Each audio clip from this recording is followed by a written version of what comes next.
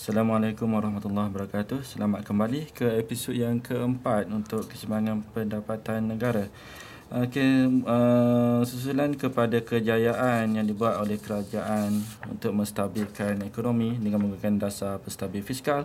Sekarang kita andaikan bahawa tingkat Uh, pendapatan keseimbangan pada uh, guna tenaga penuh adalah 2980 dan 2880 uh, adalah tingkat pendapatan yang uh, keseimbangan yang belum mencapai tingkat guna tenaga penuh. Uh, kita tahu bahawa um, pendapatan negara pada tingkat guna tenaga penuh adalah uh, tingkat di mana ekonomi tersebut telah menggunakan sepenuhnya sumber-sumber yang ada sama ada uh, sumber modal dan juga sumber buruh. Okey. Um, sekarang kalau kerajaan ingin mencapai tingkat guna tenaga penuh, ap, ap, apakah langkah yang boleh dibuat untuk mencapai tingkat tersebut?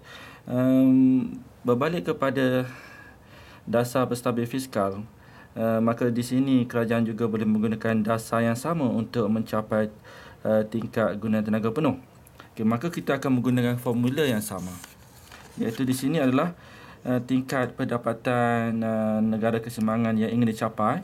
Ini yang yang telah uh, berjaya dicapai dan ini peganda autonomous darab dengan pemboleh ubah uh, autonomous yang mana ini adalah pemboleh ubah dasar fiskal ya, autonomous dasar fiskal iaitu cukai autonomous ha, seperti yang terdapat dalam maklumat yang diberikan adalah cukai autonomous yang ini tadi uh, yang yang merupakan cukai kasar uh, dan juga pembelanjaan kerajaan serta bayaran pindahan.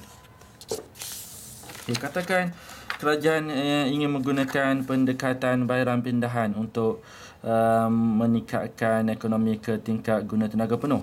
Maka in, uh, maka ini adalah peganda uh, uh, bayaran pindahan darab dengan perubahan uh, bayaran pindahan. Uh, apakah peganda? Apakah peganda R? Peganda R adalah formula seperti ini. Oleh kerana kita tidak ada maklumat tentang kadar cukai maka pembawahannya adalah 1 minus B.